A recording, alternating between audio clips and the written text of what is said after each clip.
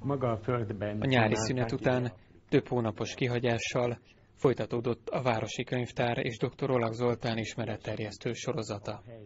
A könyvtár ezúttal is megtelt érdeklődőkkel, akik ezúttal az előadótól, dr. Olag Zoltántól, az inkákról és elődeikről hallgathattak ismeretterjesztő előadást.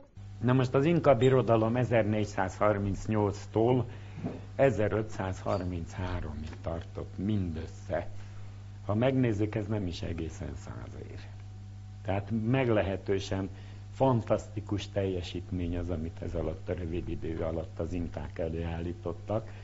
A legendák ködébe vesző Manco Capac nevű első inkájuk tulajdonképpen megtanította a népet a mezőgazdaságra, az együttélésre, a fegyverekre és általában a, az életmódnak az összes meghatározása az Manco Capaktól származik.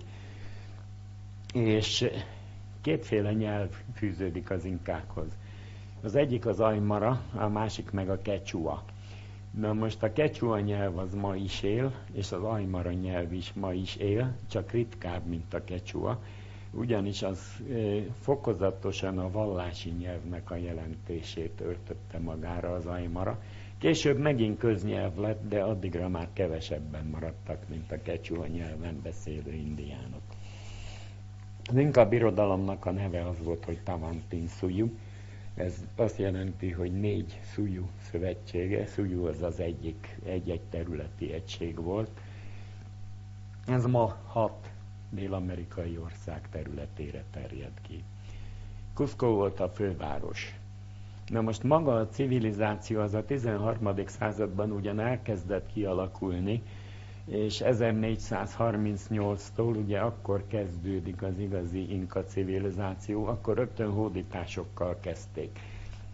A környező népeket maradéktalanul meghódították, és egy asszimilációnak vetették alá, tehát nagyon hasonlultak az inkákhoz.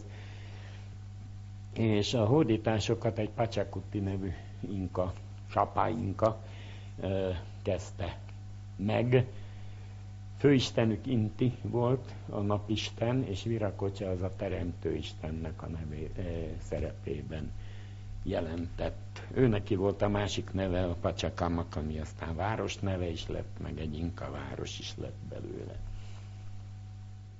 Az előadás után, ahogy ez lenni szokott, többen maradtak, kérdéseket tettek fel az előadónak, Közösen beszélgettek a látottakról. A Városi Könyvtár és Dr. Olag Zoltán sorozata novemberben a Dunaharaszti Környezetbarátok Egyesületével közösen szervezett ökológiai előadással folytatódik.